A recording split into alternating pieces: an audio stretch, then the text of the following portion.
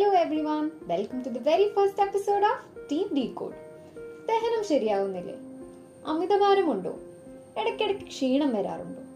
മനുഷ്യർക്ക് വരുന്ന ഒട്ടുമിക്ക ലൈഫ് സ്റ്റൈൽ ഡിസീസസിന്റെയും റൂട്ട് കോസ് തപ്പി പോവുകയാണെങ്കിൽ നമ്മൾ കഴിക്കുന്ന ഫുഡും ഈറ്റിംഗ് ഹാബിറ്റ്സും ആണ് കാരണം.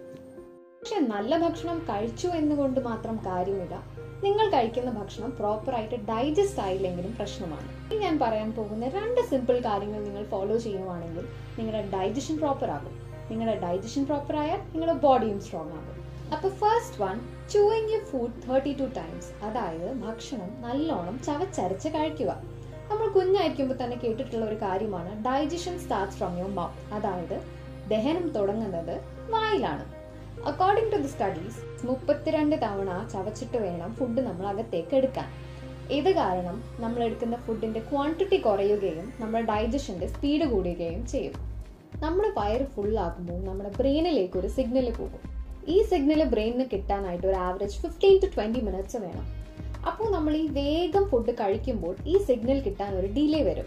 അത് കാരണം തന്നെ നമ്മൾ കുറേ ഭക്ഷണം കഴിക്കും. ഇതേ സമയം നമ്മൾ ഭക്ഷണം നല്ലവണ്ണം ചവച്ചരച്ച് കഴിക്കുവാണെങ്കിൽ ഈ സിഗ്നൽ കറക്റ്റ് ടൈമിന് പോവുകയും നമ്മൾ കഴിക്കുന്ന ഫുഡിന്റെ ക്വാണ്ടിറ്റിയും കുറയും. ഇതല്ലാതെ ഭക്ഷണം നല്ലവണ്ണം ചവച്ച് കഴിച്ചാൽ വേറെയും കുറെ ബെനിഫിറ്റ്സ് ഉണ്ട്.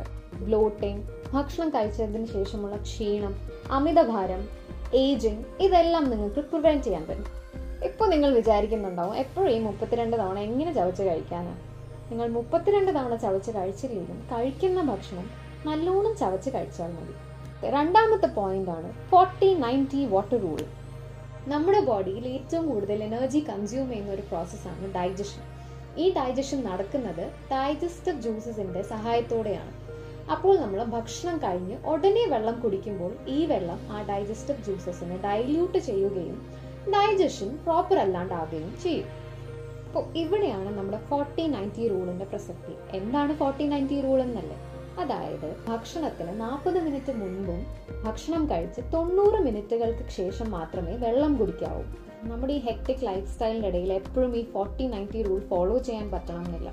അപ്പോൾ ഭക്ഷണം കഴിച്ച് അറ്റ്ലീസ്റ്റ് ഒരു തേർട്ടി മിനിറ്റ്സ് കഴിഞ്ഞിട്ട് മാത്രം വെള്ളം കുടിക്കാനായിട്ട് ശ്രമിക്കുക. ഭക്ഷണം കഴിക്കുന്നതിനിടയിൽ കുറച്ച് വെള്ളം കുടിക്കുന്നതിന് പ്രശ്നമില്ല. ഞാൻ ഈ പറഞ്ഞ രണ്ട് പോയിന്റ്സ് നിങ്ങൾ ഫോളോ ചെയ്താൽ തന്നെ നിങ്ങളുടെ ബോഡിയിൽ വിസിബിൾ ചേഞ്ചസ് ഉണ്ടാകും. സോ ഇനിയും ഇങ്ങനത്തെ ഇൻഫർമേറ്റീവ് വീഡിയോസിനായി ഈ ചാനൽ സബ്സ്ക്രൈബ് ചെയ്യുക. Thank you so much for watching